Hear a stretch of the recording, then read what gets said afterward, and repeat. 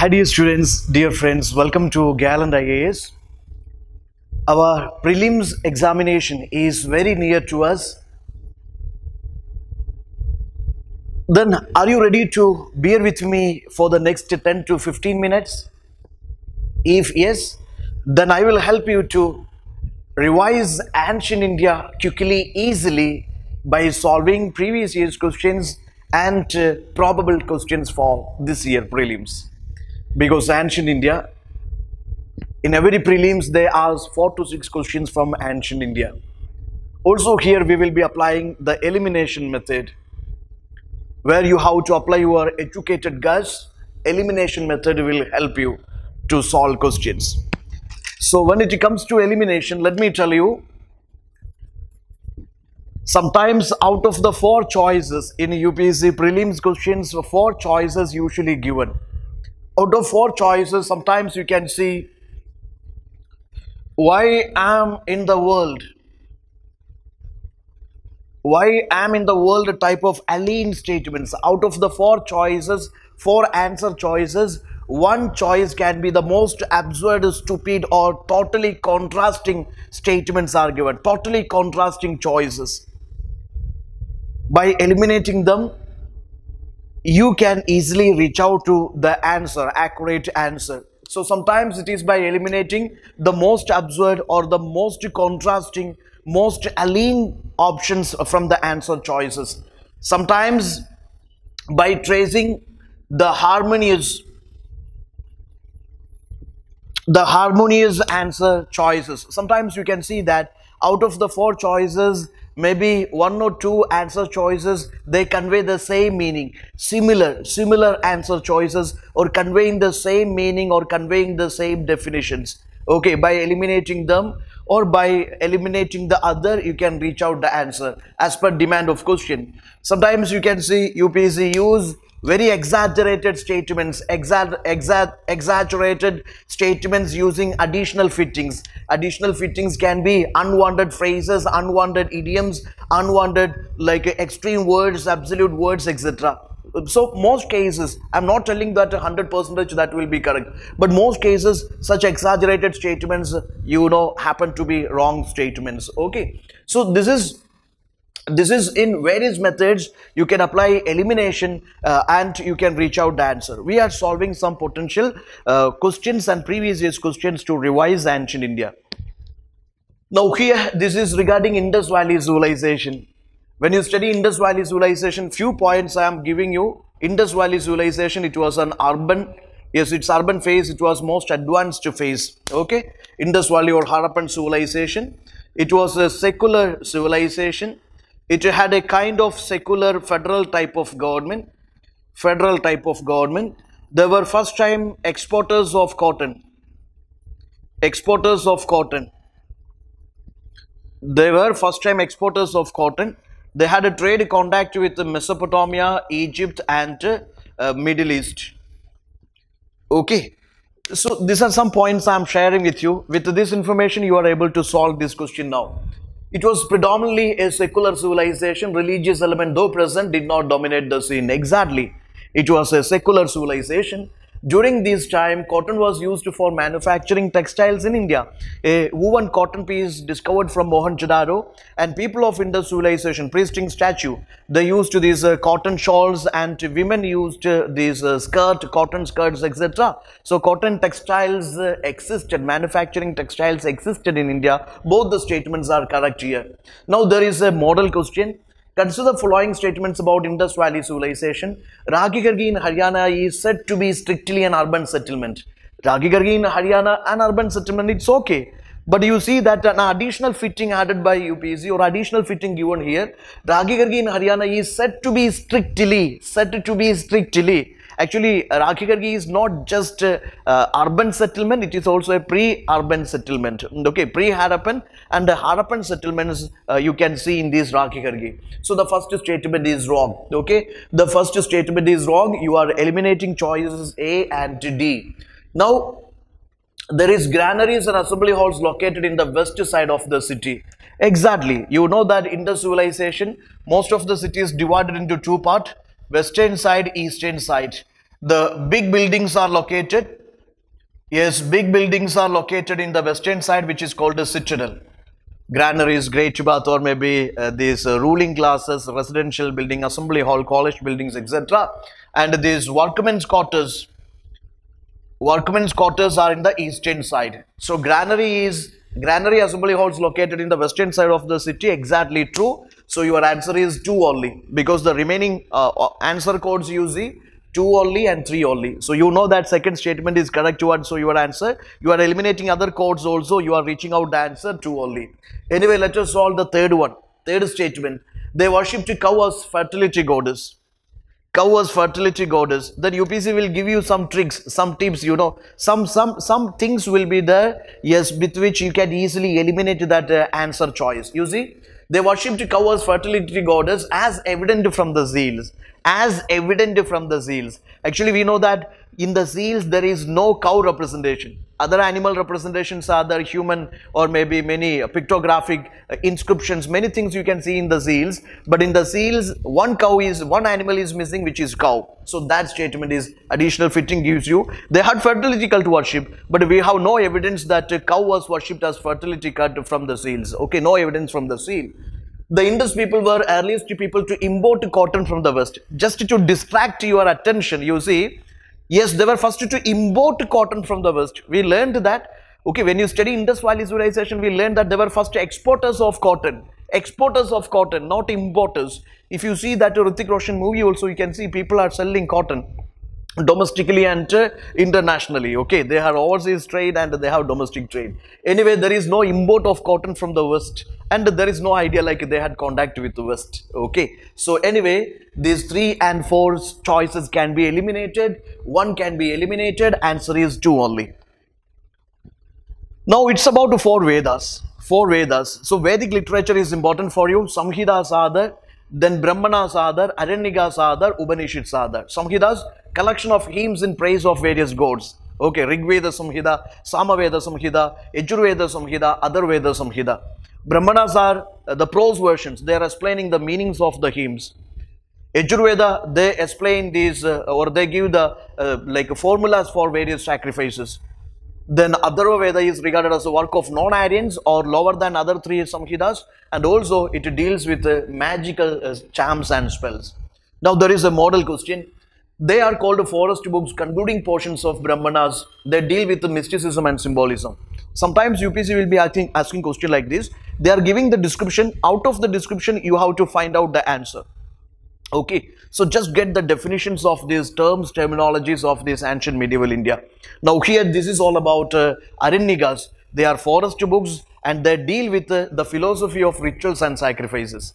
They deal with the philosophy of rituals and sacrifices. They deal with the mysticism and symbolism. Obviously, that is Aranyakas.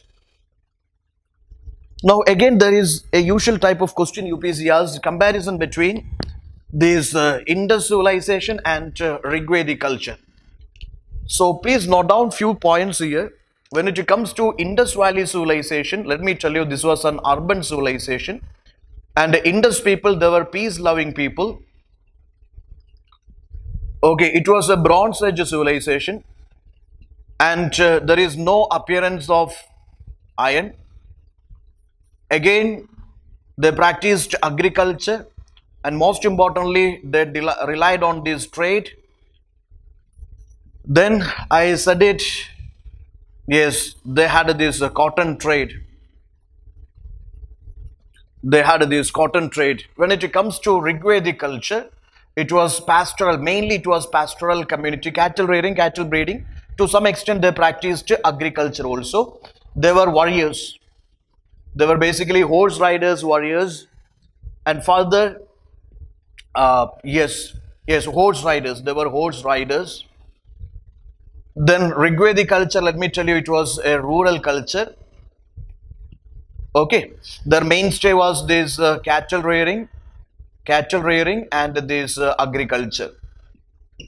Now here, Rigvedic Aryans used the first question and it's a statement. Rigvedic Aryans used coat of mail and helmet in warfare. They are warrior classes, obviously they used. Okay, we get information from Rigvedic hymns. Rigvedic Aryans and Indus people, they were peace-loving people. There is no evidence of wearing these helmet and armors, etc., and the fighting wars. No, no evidence. Rigvedic Aryans knew gold, silver, copper. Indus people only copper and iron. Indus civilization, Bronze Age civilization, it is not an Iron Age civilization. Iron makes its appearance in Indian subcontinent in the Gangetic basins. That is from 1000 BC onwards only.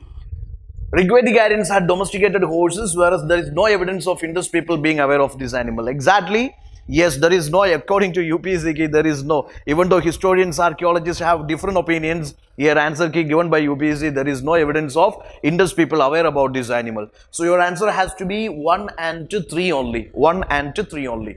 Now the probable question from this mother question, what was the main difference between mature Indus civilization and Rigvedic civilization or Rigvedic culture? Mature means urban, urban phase. Indus civilization was an urban whereas Rigvedic civilization was rural. Exactly the same, you know, the similarity between the question, the compatibility between question and answer choice, you can see it is a mature. What is difference between uh, mature Indus civilization and Rigvedic culture? So mature means urban. Here also the same urban is used. So Indus civilization it was an urban culture. Mature phase was an urban culture. Then Rigvedic civilization that was rural culture.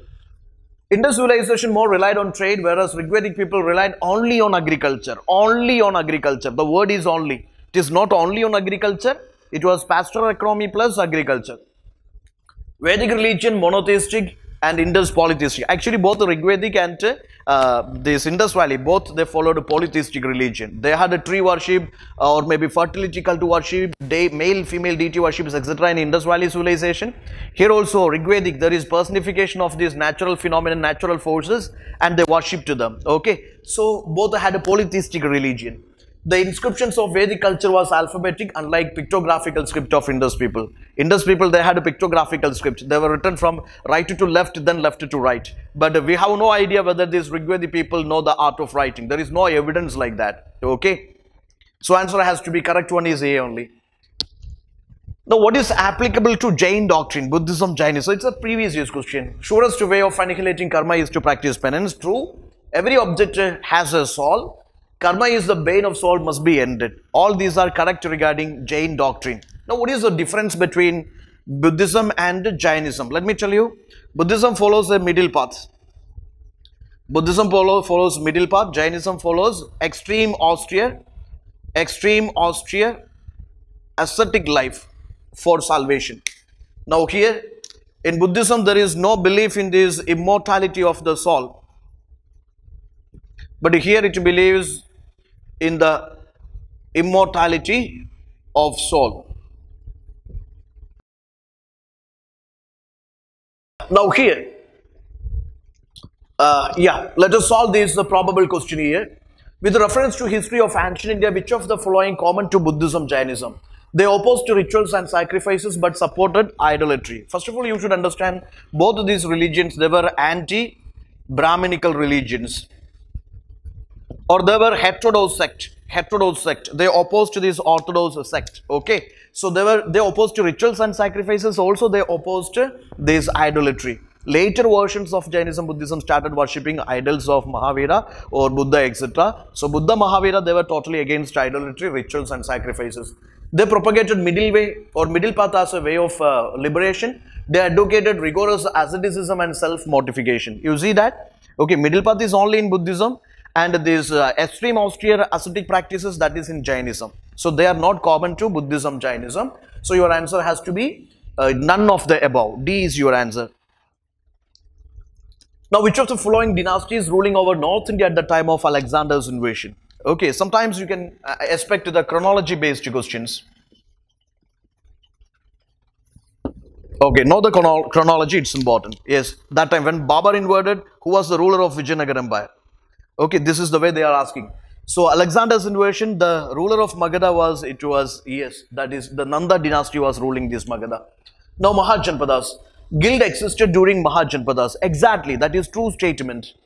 Anguttara Nikaya, the Buddhist text knows only 12 Mahajanpadas that were supposed to be tiny kingdoms. You see, that is a contrasting. I mean, this is contrasting with the question. You can see that Mahajanpada means it is greater kingdom.